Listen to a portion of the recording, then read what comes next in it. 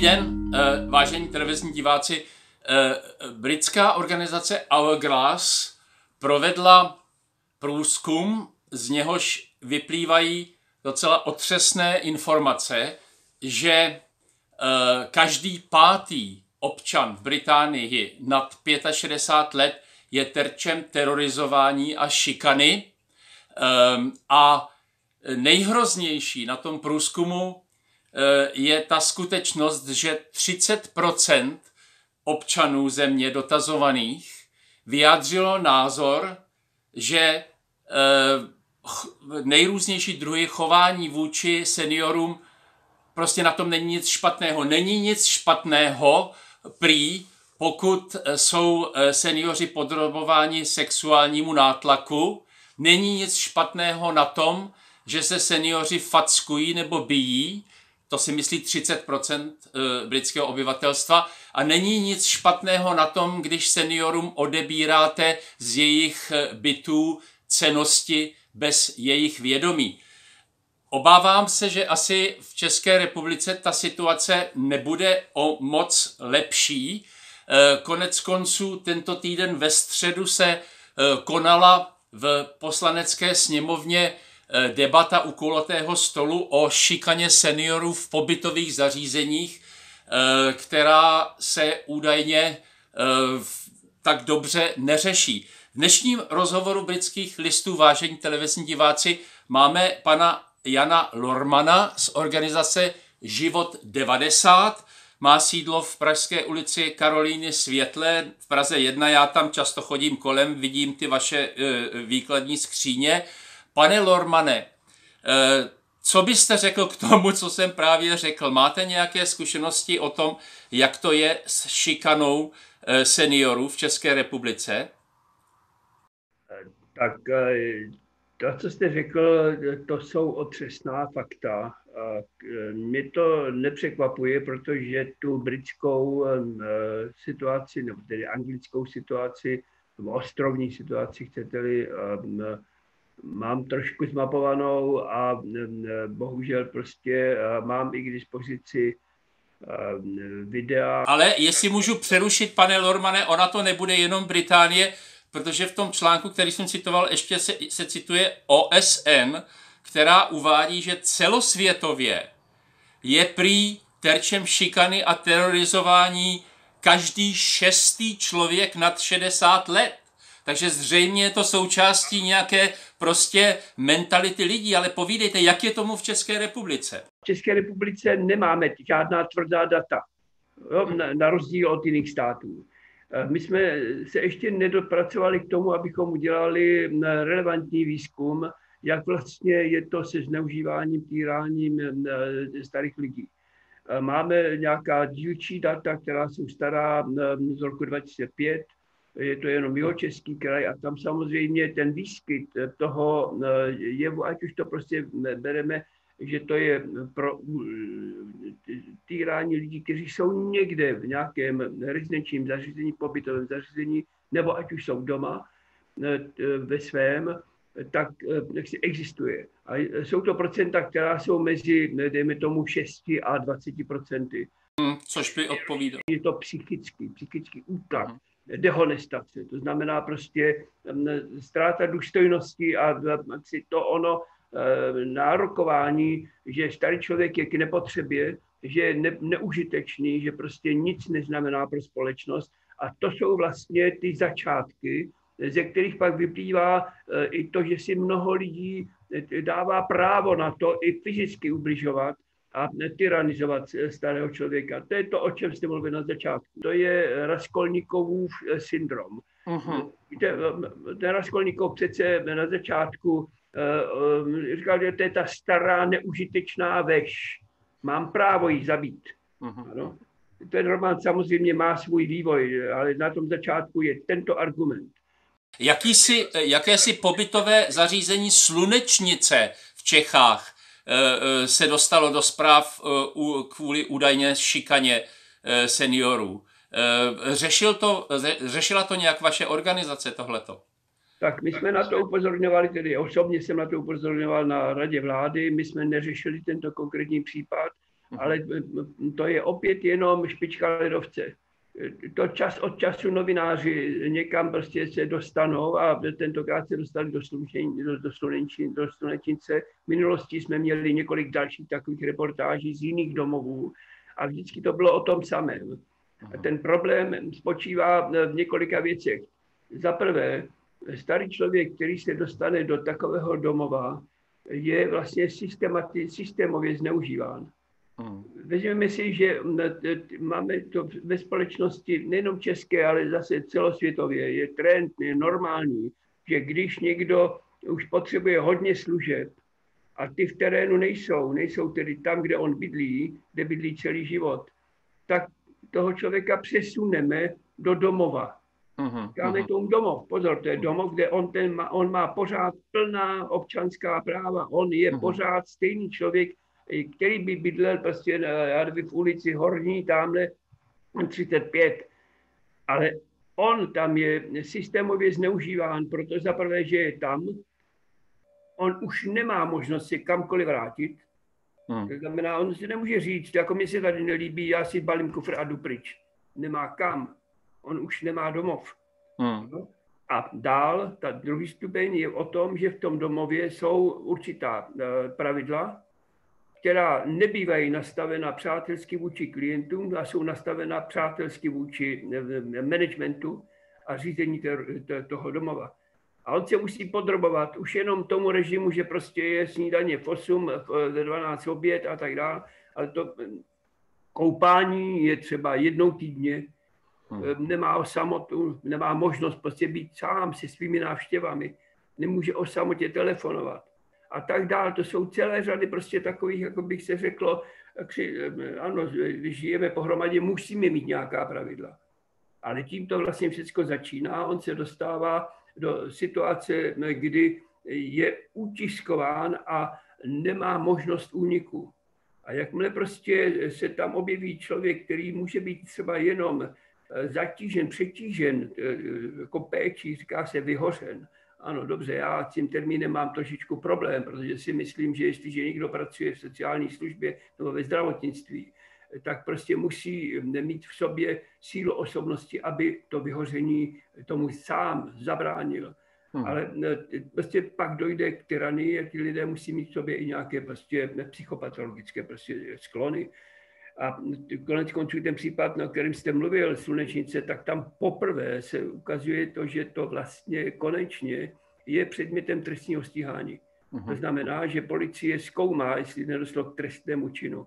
Uh-huh. Jenomže jako to, že už to došlo tak daleko, neznamená, že se neděje něco, tak říkajíc, méně závažného, méně brutálního, eh, let kde jinde a my o tom vůbec nevíme. Ve světě se odhaduje, že zhruba jenom 15% těchto, těchto činů se dostane někam do evidence, že o tom uh-huh. společnost ví. Jinak se to považuje za hlasy, které nikdo neslyší. Jo? Lidi, kteří nemají možnost to nikde nikomu říct. Takže data nemáme, ale to podezření je velice silné.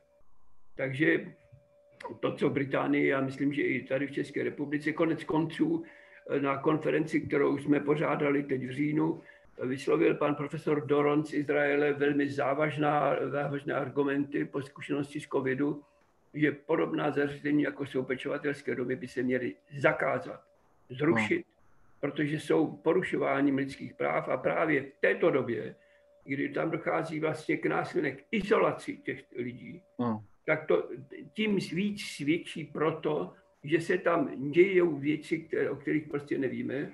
A samozřejmě to, co nevyplynulo na, na, na světlo, tak je přesně to, co vy říkáte z Británie. To znamená, i v Izraeli mají s tím problém a chtějí prostě jako, no, to, to, to, tento způsob života, který je, je omezením lidských práv, prostě zrušit, nebo pan profesor Doron přišel s, s touto velice, velice závažnou myšlenkou.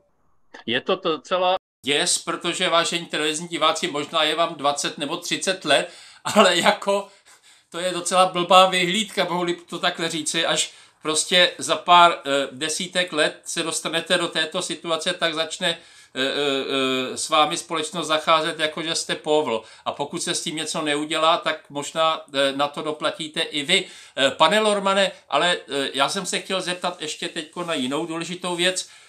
Vy se zabýváte, anebo poukazujete na problém osamění starších lidí, která tento problém zřejmě Eh, dost vzrostl právě teď v té době té pandemie, protože eh, COVID nefunguje podle principu rovnosti. Eh, nejvíc postihuje ty nejslabší členy společnosti, jak k ním teda patří bohužel také seniori. Že? Jak to je, co děláte, jaké máte zkušenosti s problémem osamocení Eh, eh, starších lidí v České republice? Závažnost osamocení, izolace a, a vlastně psychických dopadů eh, na život a zdraví člověka jsou velice závažné v této, v této době. A nemusíte bydlet v domově pro seniory, kde vás zavřou. Naštěstí teď už se tedy to mění, že tedy návštěvy budou nějaké prostě možné, ale můžete být i doma a může to být i z dobré vůle rodiny, která e, je taksi přehnaně ochranitelská a vlastně tomu starému člověku e, zařídí všechno na světě, jenom říkám, prosím tě, mami, zůstaň doma, nikam nechoď, my ti všeckou děláme. Jo, tady ti to dáme před dveře, zamkni se, nikam nechoď, protože prostě by si mohla se nakazit. E, nakonec vlastně z toho vyplyne, že ta izolace vede ke strachu, toho starého člověka hmm. úzkostem, k depresím a hmm. dál ještě fyzickému ohrožení, protože on se přestane hýbat. Jakmile se přestanete hýbat, tak vám svaly prostě přestanou, um, prostě dostanete se do situace, kdy sarkopenie, to znamená úbytek svalové hmoty, se začne velmi rychle prostě projevovat. Pak hmm. se nepostavíte na nohy, a to má bohužel ty důsledky, že když se nepostavíte na nohy, zůstanete ležet, Jakmile zůstanete ležet, je to problém, eh, protože můžete dostat eh, nějakou infekci, zápal plic. Jakmile prostě pak jste zesláblí, zraníte se, protože pak už skutečně prostě si zlomíte třeba krček a zůstanete ležet a konečně jak si dojde i k fatálnímu závěru života. A to všecko je jenom ze začátku tím, tou přehnanou péčí a tím, že se člověk bojí cokoliv dělat, No lidi by měli chodit na procházky a dále, jestli můžu apelovat na vás, televiz, eh, vážení televizní diváci, podívejte se, jestliže máte někde ve vašem domě činžovním nebo uh, u sousedů staršího člověka, zatelefonujte mu, zaklepejte u nich na dveře, zeptejte se, jak se jim vede, jestli něco nepotřebují. Komunikuj, komunikujte s těmi lidmi, teď je to přece strašně důležité. Řekl, souhlasíte, pane Lormane? Naprosto s vámi souhlasím a moc bych prosil, abychom právě teď v době adventu a Vánoc, abychom e, nezapomínali na, na ty nejstarší z nás. Já vím, že se dobíjíme z rozřářených e, dětských očí. Jo. Ano, to si musíme dopřát. Ale na druhou stranu jsou lidi, kteří prostě teďka právě v téhle době se, se trápí. A to jsou ti, o kterých vůbec nevíme, kteří jsou osamělí. Nemusí to být naše rodiče, prarodiče, blízcí. Ne, tak jak jste řekl, to mohou být sousedé v domě. Ale já bych to i otočil. Já bych chtěl vyzvat právě i nás nejstarší, abychom dávali příležitost lidem v okolí, aby nás mohli mít rádi. Znamená nezavírat se, nezabalit se do samoty a do izolace. Naopak vycházet ven, prostě a dávat možnost prostě k lidským kontaktům. Tak bych tak řekl skutečně, aby nás mohli lidé mít rádi, abychom my z toho prostě potom měli i radost. Závěrem se chtěl ještě zmínit o velmi důležité uh, uh, roli, kterou vaše organizace uh, dělá. Je to ta tísnová, tísňová péče, Eh, to znamená, eh, pokud jsem se dočetl, pokud jsem to četl správně, tak asi za 500 korun nebo 450 korun vy eh, poskytujete péči seniorům, kdyby se něco stalo, tak vy okamžitě prostě pomáháte. Povězte nám o tom závěrem stručně ještě pár slov a jak by se k tomu měli lidi přihlásit. Stačí, když si na webu Života 90 najdou příslušnou, příslušnou eh, linku, tam to je velmi snadné to najít a že mají zájem o tu službu. Ta služba spočívá v tom, že člověk má doma komunikační zařízení speciální, která mu umožní se snadno propojit.